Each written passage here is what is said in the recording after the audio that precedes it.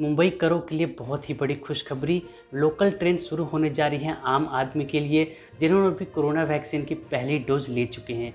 बताएँगे इस अपडेट के बारे में। तो जैसा कि दोस्तों, अपडेट आ रही है कि मुंबई लोकल को यहाँ पे चालू करने के लिए बात की जा रही है आम नागरिक के लिए। पॉलिटिशन यहाँ पर स्टेट गवर्नमेंट को बोल रहे हैं कि जिन्होंने भी अलाउड यहाँ पर देना चाहिए, जिन्होंने वैक्सीन की पहली डोज ले ली है, जो कि कर्नाटका सरकार अभी अलाउड कर दी है जिन लोगों ने पहले की, पहले डोज यहाँ पे वैक्सीन की ले ली है।